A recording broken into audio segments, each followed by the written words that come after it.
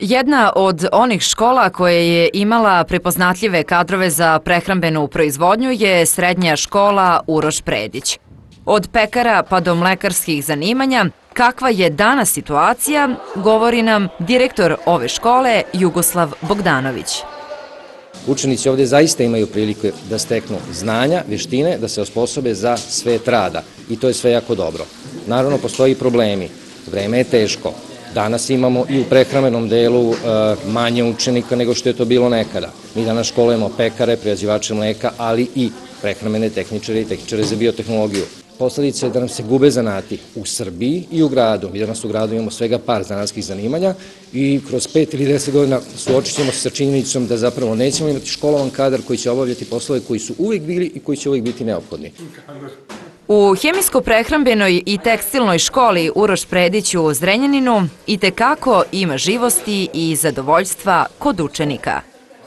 Koji je razlog e, Zašto si se odlučila da upišeš baš uh, ovaj smer? Poprilično je zanimljiv smer. Mnogo može da se nauči iz ovoga i može da se stvore život jednostavno. Mnogo može da se pomogne nekim ljudima. Planira moj otac da otvori pekaru pored naše zgrade, pa će vratno to raditi. Pa ti još tako da ćemo vidjeti. Staniša Ristić, profesor stručnih predmeta, kaže da učenici u početku dođu nezainteresovani za ovo obrazovanje. Međutim, vreme učini svoje. Deca dođu sa tim svojim godinama i nisu nešto posebno zainteresovani, međutim, vremenom ovde postaju ovaj, i motivisani i zainteresovani, jer na neki način se dopada rad u mini mlekari, jer mi tako organizujemo sam rad, da oni od početka, znači sa nekim sa nekom malom količinom mleka, kao što vidite sada počinju neke faze procesa proizvodnje, pa tek nakon toga, kada uvežbaju proces proizvodnje i faze procesa proizvodnje, mi pređemo na ovaj naš malo pogonski deo i način proizvodnje proizvoda.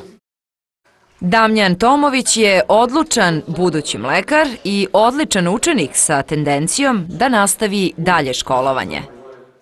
Moja porodica ovaj, ima nameru da ovaj, mi sami osnovimo jednu mlekaru i da pokrenemo naš sobstveni biznis, familijarni.